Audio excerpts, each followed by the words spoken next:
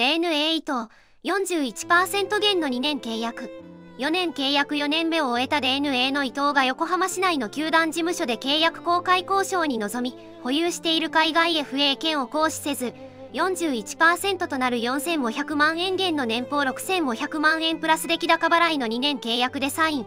年俸の減額制限。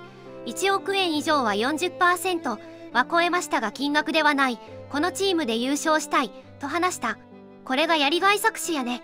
下がってもまだ高くて草6000万でも高すぎだろいいとこ3500万や。保守ってほんと息が長いよな。毎年この減額制限超える人出てくるけど制限の意味あるんか？バワー消えるんやから単年2500ぐらいの価値しかないやろ。40じゃなくて41にするのはある意味優しさなのかね。若月より年俸だけ変だよ。戸柱残っても3番目なのか残るも地獄やな。41%って意味不明よなじゃあ40%でええやん。選択肢与えたんやでとでも言うんか。峰井はうまく動いたよな松尾鳥山本まで出てきて横浜にいたらお払い箱やし。